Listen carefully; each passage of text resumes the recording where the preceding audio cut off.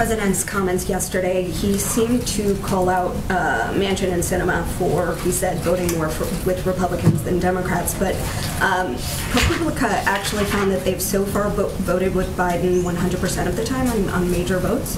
Um, and so, can you explain where those comments came from and why he felt the need to call out members of his own party? Well, I would say first that if Senator Manchin and Senator Sinema were standing with me here today, they're always welcome. Uh, they would call out their own independent streaks. And that's something that I think they're both proud of. Uh, they both vote for and represent the people in the states uh, that and all the people who elected them uh, to represent them in the Senate. Uh, if you look at what the, Sen- the president said, the big tell here is I hear all the folks on TV saying, now, as a former TV pundit myself, um, I can tell you that sometimes these conversations can be oversimplified. TV isn't always made for complex conversations about policymaking. We all know that, right?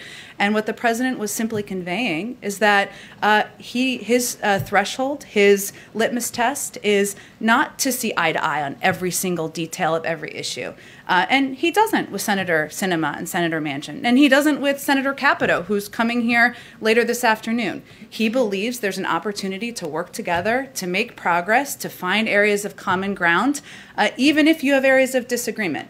And he also believes that sometimes, um, because there are three uh, entities, uh, three branches of government, something he knows well, having served 36 years in the Senate, that sometimes it's not a straight line to victory or success. That uh, sometimes uh, you know, it takes more time, and um, you know, he's open to many paths forward. So I, I, don't think he was intending to convey other anything other than a little bit of commentary on TV punditry. Well, it did seem to suggest that he is in favor of filibuster reform and wants to see that move. So why hasn't he been more prominent in calling for that? And is he pressuring Manchin and Sinema to move on that issue privately?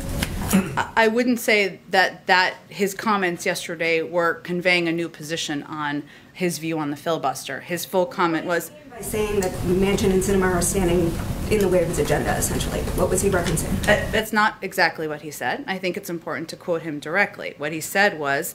Uh, I hear all the folks on TV saying, why doesn't Biden get this done? Well, because Biden only has a majority of effectively four votes in the House and a tie in the Senate, with two members of the Senate who vote more with my Republican friends. He's not, he was not giving a specific commentary on a policy. He was conveying again that sometimes that's the summary shorthand version that he sees on, on cable news at times. Uh, again, it's not always the forum that's easy to provide guidance on how a bill becomes a law.